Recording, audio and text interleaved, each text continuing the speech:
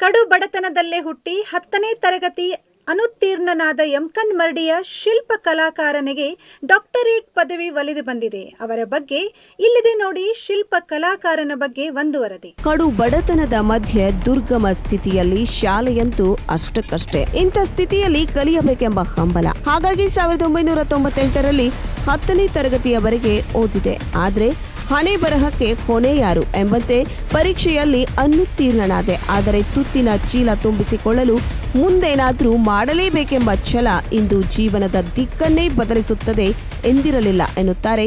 ಹುಕ್ಕೇರಿ ತಾಲೂಕಿನ ಯಮಕನ್ಮಡಿ ಗ್ರಾಮದ ಶಿಲ್ಪಕಲಾಕಾರರಾದ ಡಾಕ್ಟರ್ ತಮ್ಮಣ್ಣ ಯಲ್ಲಪ್ಪ ಪಾತ್ರೋಟ್ ಮುಂದೊಂದು ದಿನ ತಾನು ಜೀವನೋಪಾಯಕ್ಕೆ ಆಯ್ದುಕೊಂಡ ಶಿಲ್ಪಕಲೆ ಡಾಕ್ಟರೇಟ್ ಪದವಿಯನ್ನ ತಂದುಕೊಡುತ್ತದೆ ಎಂದರೆ ನಂಬಲ ಸಾಧ್ಯ ಎನ್ನುತ್ತಾರೆ. ಹತ್ತನೇ ತರಗತಿ ಅನುತ್ತೀರ್ಣನಾದ ಬಳಿಕ ಸಾವಿರದ ಒಂಬೈನೂರ ತೊಂಬತ್ತೊಂಬತ್ತರಲ್ಲಿ ಸವದತ್ತಿಯ ಮಾವಂದಿರ ಹತ್ತಿರ ಸುಮಾರು ಎರಡು ವರ್ಷಗಳ ಕಾಲ ಶಿಲ್ಪಕಲೆಯನ್ನ ಕಲಿತು ಜೀವನ ಸಾಗಿಸುತ್ತಿದ್ದ ಪಾತ್ರೋಟ್ ಈ ವೃತ್ತಿಯಲ್ಲೇ ಸಾಧನೆಯ ಪ್ರಗತಿ ಸಾಧಿಸುವ ಛಲದಿಂದ ಮನಗುತ್ತಿ ಗ್ರಾಮದ ಶಿಲ್ಪ ಕಲಾಕಾರರಾದ ದಿವಂಗತ ಚಂದ್ರಶೇಖರ್ ಬಡಿಗೇರ್ ಅವರ ಮಾರ್ಗದರ್ಶನದಲ್ಲಿ ದಿನದಿಂದ ದಿನಕ್ಕೆ ಶಿಲ್ಪಕಲಾ ವೃತ್ತಿಯಲ್ಲಿ ಅಪಾರವಾದ ಅನುಭವ ಪಡೆದು ಎರಡು ಸಾವಿರದ ಐದರವರೆಗೂ ಕೈಯಿಂದಲೇ ಹಲವಾರು ಮೂರ್ತಿಗಳನ್ನು ಕೆತ್ತಿ ದೇವಸ್ಥಾನಗಳಿಗೆ ನೀಡುತ್ತಿದ್ದರು. ತದನಂತರ ಕರ್ನಾಟಕ, ಮಹಾರಾಷ್ಟ್ರ ಸೇರಿದಂತೆ ನೆರೆ ರಾಜ್ಯಗಳಲ್ಲಿ ಕಲ್ಲಿನಲ್ಲೇ ದೀಪಸ್ತಂಭ, ದೇವಸ್ಥಾನಗಳ ಮಹಾದ್ವಾರ, ನಂದಿ ಮೂರ್ತಿಗಳು, ದೇವಸ್ಥಾನದ ಗರ್ಭಗುಡಿಗಳಿಗೆ ಅತ್ಯಾಕರ್ಷಕವಾದ ದ್ವಾರಗಳ ನಿರ್ಮಾಣ,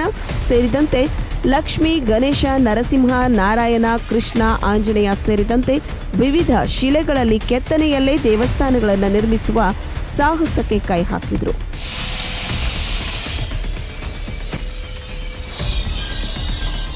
ಸರ ಅದಂತ ಎರಡ್ ಸಾವಿರದ ಆರರಲ್ಲಿ ಅತ್ಯಾಕರ್ಷಕ ನಂದಿ ವಿಗ್ರಹ ರಂಗತುಳಿ ಗ್ರಾಮದಲ್ಲಿದೆ.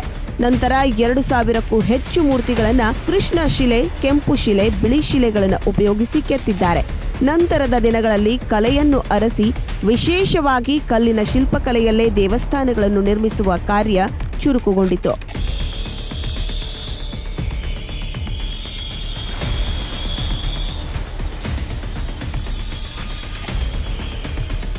ತಂದೆ ಯಲ್ಲಪ್ಪ ಪಾತ್ರೋಟ್ ಹಾಗೂ ತಾಯಿ ಯಲ್ಲವ್ವ ಪಾತ್ರೋಟರ ಉದರದಲ್ಲಿ ಒಂದು ಒಂದು ಸಾವಿರದ ಒಂಬೈನೂರ ಎಂಬತ್ತೊಂದರಲ್ಲಿ ಜನಿಸಿದ ತಮ್ಮನ ಪಾತ್ರೋಟ್. ಯಮಕನ್ಮಡಿಯ ಸರ್ಕಾರಿ ಶಾಲೆಯಲ್ಲಿ ಪ್ರಾಥಮಿಕ ಶಿಕ್ಷಣ ಹಾಗೂ ಪ್ರೌಢ ಶಿಕ್ಷಣವನ್ನ ಸಿಇಎಸ್ ಪ್ರೌಢಶಾಲೆಯಲ್ಲಿ ಮುಗಿಸಿದ್ದ ಇವರು ಏಳನೇ ತರಗತಿಯಲ್ಲೇ ಚಿಕ್ಕ ಕಲ್ಲಿನಲ್ಲಿ ನಾಗರ ಹೆಡೆ, ಎತ್ತುಗಳ ಮೂರ್ತಿ ಕೆತ್ತುವ ಕಲೆ ರಕ್ತಗತವಾಗಿ ಬಂದಿತ್ತು. ಇತ್ತೀಚಿನ ದಿನಗಳಲ್ಲಿ ಮೂರ್ತಿಗಳನ್ನು ನಿರ್ಮಿಸಲು ತಂತ್ರಜ್ಞಾನಯುಕ್ತ ಯಂತ್ರಗಳ ಬಳಕೆ ಪ್ರಾರಂಭಿಸಿದ್ದು ಎರಡು ತಿಂಗಳಲ್ಲಾಗಬೇಕಾದ ಮೂರ್ತಿ ಕೆತ್ತನೆ ಕೆಲಸ ಇಂದು ಹತ್ತು ದಿನಗಳಲ್ಲೇ ಮುಗಿಸುವಷ್ಟು ಸರಾಗವಾಗಿದೆ ಎನ್ನುತ್ತಾರೆ. ಆದರೆ ಅಂದಿನ ಪರಿಶ್ರಮ ಮತ್ತು ಶಿಲ್ಪಕಲೆಯ ಶೈಲಿ ಇಂದು ಉಳಿದಿಲ್ಲ.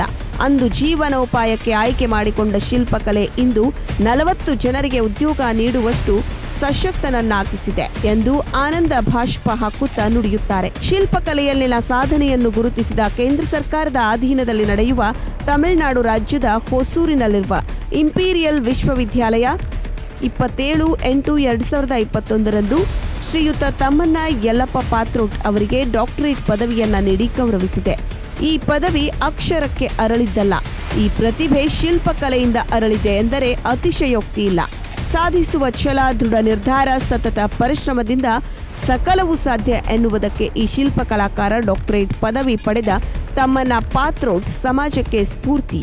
ಇಂತಹ ಕಲೆಗಾರನ ಪರಿಚಯವನ್ನ ಸತ್ಯಂ ವಾಹಿನಿ ಪ್ರಸ್ತುತಪಡಿಸುವುದರೊಂದಿಗೆ ಇತರರಿಗೂ ಮಾದರಿಯಾಗುವಲ್ಲಿ ಸಹಕರಿಸುತ್ತಿದೆ. ಮ್ಯಾಟ್ರಿಕ್ ಫೇಲ್ ಎರಡು ವಿಷಯ ಹೋಗಿತ್ತು ಸರ್ ಎರಡು ವಿಷಯ ಏನು ಕಟ್ಟಲಿಲ್ಲ ನಾವು. ಅದನ್ನ ಅದನ್ನು ನಾವು ಇದೇ ಇದೇ ಇದೇ ಕಲಿಯೋದಾಗ ತರಿಸ್ಕೊಂಡು ಶಾಲೆ ಕಲಿದ್ರ ಬಿ ಮುಂದಾಗ್ಬೋದು ಸಾಧನೆ ಮಾಡ್ಬೋದು. ಅನ್ನೋದಕ್ಕೆ ನೀವೇ ಮಾದರಿ. ಅನ್ನೋ ನಾವು ಓಕೆ ಸರ್ ಥ್ಯಾಂಕ್ ಯು ಅಪ್ಪಟ ಗ್ರಾಮೀಣ ಪ್ರತಿಭೆ ಶಿಲ್ಪಕಲೆಯಲ್ಲಿ ನಿಮ್ಮನ್ನು ಗುರುತಿಸಿ. ತಮಿಳುನಾಡಿನ ಕೇಂದ್ರ ಸರ್ಕಾರದವರು ತಮಗೆ ಡಾಕ್ಟರೇಟ್ ಪದವಿಯನ್ನು ಪ್ರದಾನ ಮಾಡಿದ್ದಾರೆ ಸರ್ ಅದಕ್ಕೆ ತಮಗೇನು ಅನಿಸ್ತೈತಿ? ನಮ್ಮದು ತುಂಬ ಒಳ್ಳೇದನ್ಸುತ್ತೆ ಹಾಂ. ಈಗ ಇದು ಇದನ್ನು ಚಿಕ್ಕಂದಾಗಿ ಚಿಕ್ಕಂದಾಗಿನಿಂದ ಗಾಡಿ ಗೋಡೆ ಮೇಲೆ ಬ್ಯಾಂಕ್ ಬರ್ತಾ ಇದೆ. ನಮಗೆ ವೀಕ್ಷಕರೇ, ನಮ್ಮ ಸತ್ಯಂ ವಾಹಿನಿಯ ಪ್ರತಿದಿನದ ಅಪ್ಡೇಟ್ ಮಾಹಿತಿಯನ್ನ ತಿಳಿದುಕೊಳ್ಳಲು Satyam TV Kannada YouTube subscribe ಹಾಕಿ ಹಾಗೂ ಬೆಲ್ ಐಕಾನ್ ಅನ್ನು ಕ್ಲಿಕ್ ಮಾಡಿ.